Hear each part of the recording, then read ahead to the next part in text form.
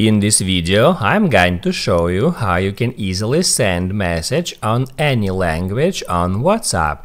Be sure to watch the video to the very end so you don't make any mistakes and of course do not forget to like this video and subscribe to my channel. So let's begin and uh, first off open up WhatsApp app.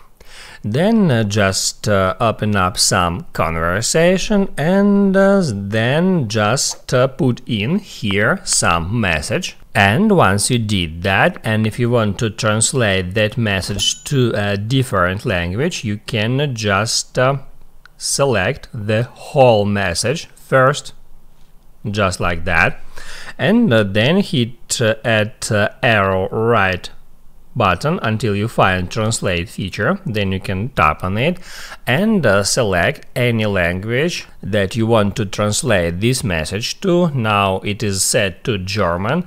You can hit add change language and uh, select one of uh, that languages. Let it be Italian for example.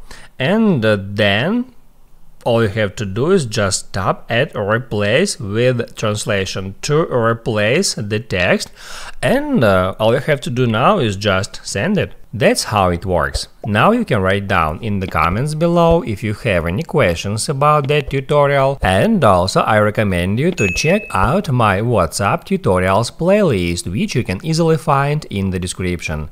Hit the like button if you liked that video and I see you in the next one.